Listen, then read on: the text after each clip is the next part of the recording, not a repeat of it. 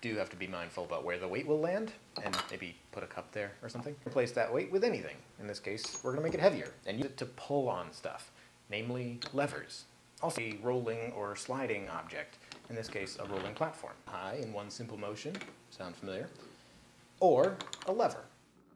That release something is also a very common usage in that object in place until the domino falls over. And make one side of the lever much longer than the other and be used to restore an object to its original you use a pusher in perpendicular to the rolling path of the ball. You've got the line of dominoes that falls over as it falls into position. Ball's own momentum push it over the speed bump when the track comes to a stop. Behind the speed bump at the top of the track, but when it rolls over it again, ball is able to roll over the speed bump on its way. This is very basic, almost kind of barriers you add. So here are some example terms of the end of track stopper that you might need with different balls on different tracks. In solution here is to add a barrier behind the marble that but usually by just adding a small barrier through, we can be sure it's going in a straight line and rolling platform end up in the right place. The first is creating a vertical pulley system and if we add a magnet to the rotating track and to the track that it's supposed to line up with, we can get ball dropper here. We need a way to hold the cup in this kind of magnetic connection is perfect for addressing this problem too. Magnet on the end of the ruler and on the end of this lever used before in a machine to solve this exact problem. Another, here's a trick that uses a bunch of marbles. And if you don't think ahead, this is a mis, of course, make a track pendulum in any number of ways, because obviously anything that hits the lever would have to over, would look like this in this case, version using the joint method as well. String, but you can't really push a string into the hole, is holding the ball lift in place.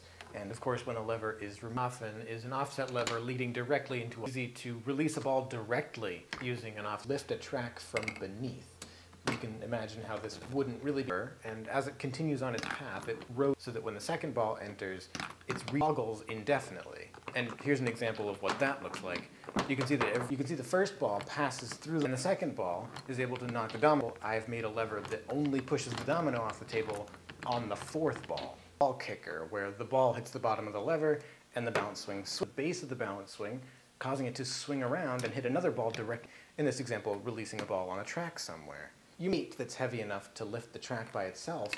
All we need is a lever that's heavy enough. Hits the end of the lever it nudges it out of place. You can even use the overbalanced lever in the same way as the white rod in it, and the white rod, the K'NEX rod lock is able to hold it back no problem.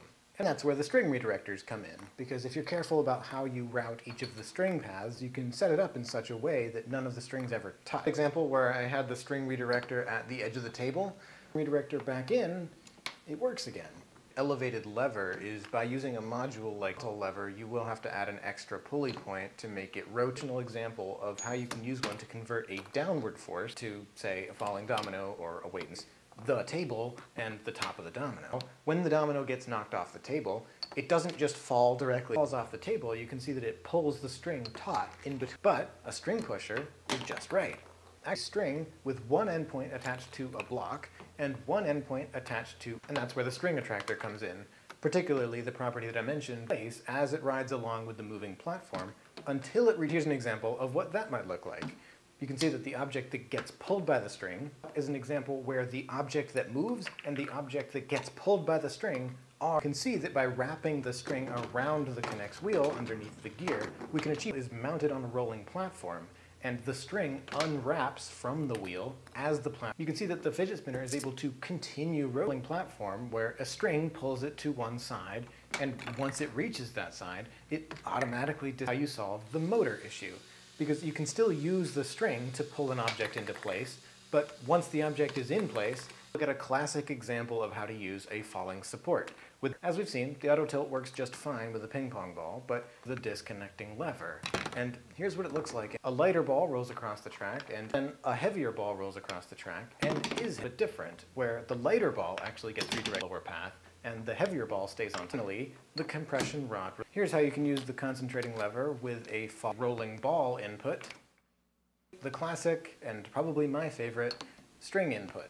So here's an example of a trick that uses a frictional lever you can see the track falls down onto the lever and rotates, allowing the track to fall further. And rotate the lever when it enters the cup. It doesn't matter how much the cup is swinging, and it's impossible for the cup to just go around. Well, It's not the easiest thing in the world to make, but here's an example of a very simple and efficient way that you can accomplish. So here's an example of what that might look like. We've got a rolling platform here connected to a piston that will continuously oscillate back and forth along these rails. And the one directional lever, like the first ball rolls into the tube, but then gets held inside. So, the, but then the second ball just rolls straight through and doesn't stop at all. Weight into a discarded weight. The board when it tilts to the left side. Two is attach the weight to the disc only for the time that it's traveling downwards, giving the disc, and look at what a difference it makes.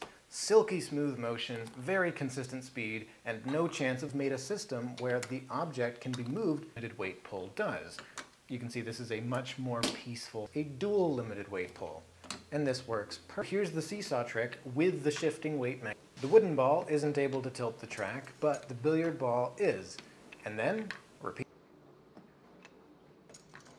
Now, when the domino falls onto the right side of the ball lift, it pushes that side down slightly, causing the shifting. Very simple, automatically resetting ball dropper trick. And here's what that looks like. This is the intermittent weight pull.